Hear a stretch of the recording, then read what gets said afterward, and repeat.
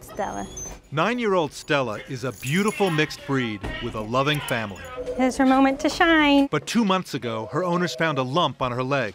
It turned out to be a mast cell tumor, a type of cancer diagnosed in almost 200,000 dogs every year. It's the kind of cancer, when treated um, appropriately or somewhat aggressively, you can have good successes with it, but um, it certainly can, it can progress and, and kill an animal. Until now, dogs like Stella with cancer have had limited options.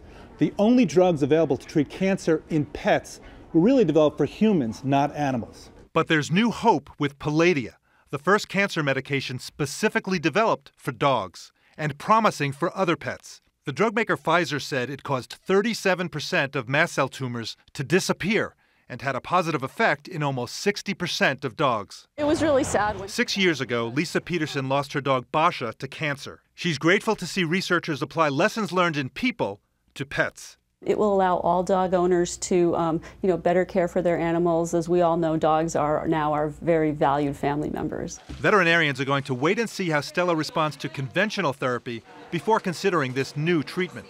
But it's comforting to know there may be another option for her. It's got a lot of potential, and I think there are, you know, we have good therapies for mast cell tumors, but we don't have great therapies. And so he agrees. Yeah. Dr. Jon LaPook, CBS News, um, New York.